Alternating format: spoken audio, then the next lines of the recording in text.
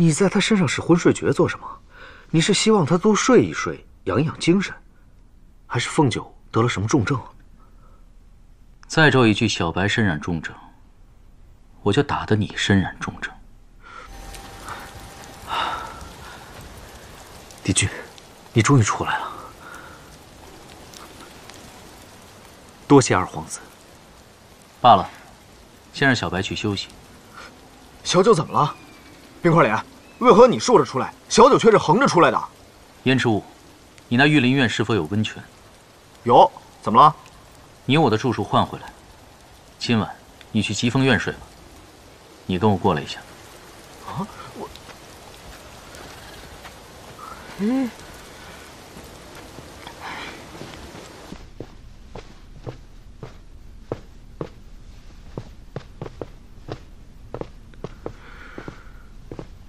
唉，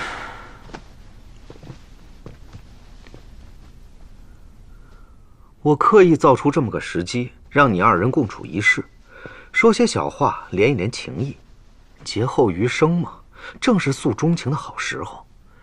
这种时候呢，美人最是脆弱，稍许温存即可拿下。这种关键时刻，你招我进来做什么？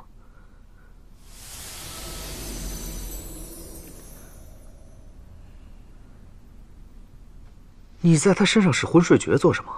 你是希望他多睡一睡，养一养精神，还是凤九得了什么重症？再咒一句小白身染重症，我就打得你身染重症。那你这是为什么呀？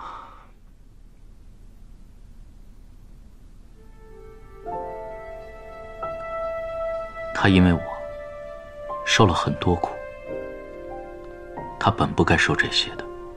你是东华帝君，像她这样的小神女，爱上你这样的尊神，多一些坎坷，不是应该的吗？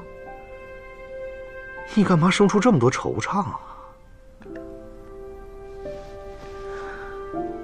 淼落除了遗留在魔族的血泪外，还有一缕元神红气，一直被封在小白的凤羽花印记里。淼落的画像，在阿兰惹之梦中拿走了那缕元神。还伤了小白，什么？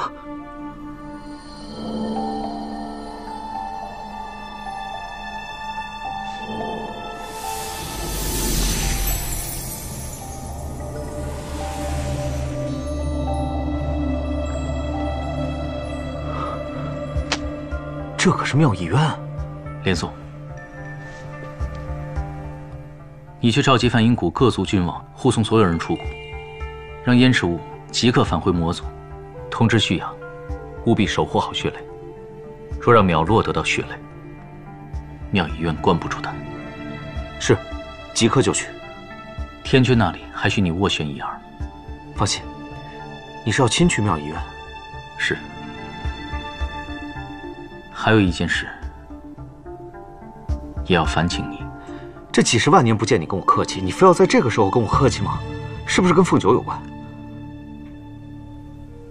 这些事，不要让他知道。他在进入阿兰惹之梦前就身受重伤，好不容易在梦中休养好了，却因为淼落拿回元神，又再度受伤。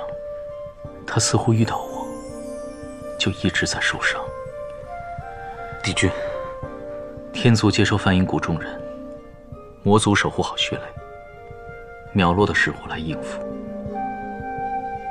至于小白，暂时先让他好好休养，过一阵再说吧。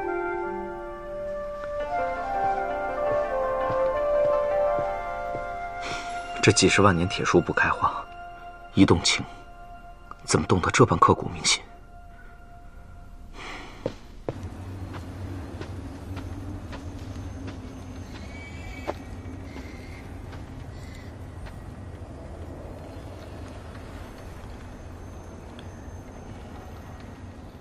往常你三分法力，倒喜欢嚷嚷；如今六分法力在手，倒喜欢装乖了。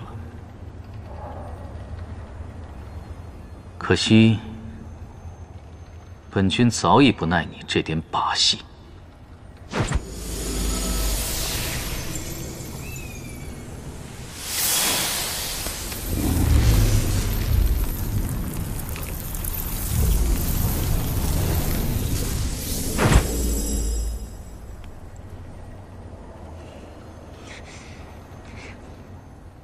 既然你喜欢，便成全你。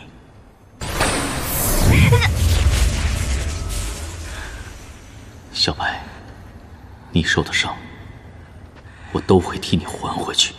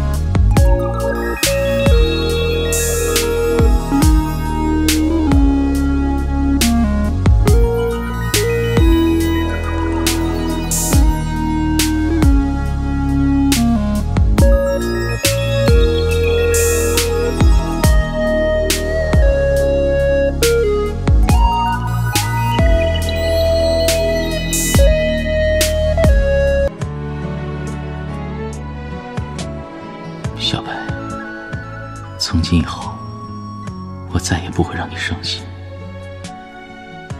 我们生生世世都不再分离。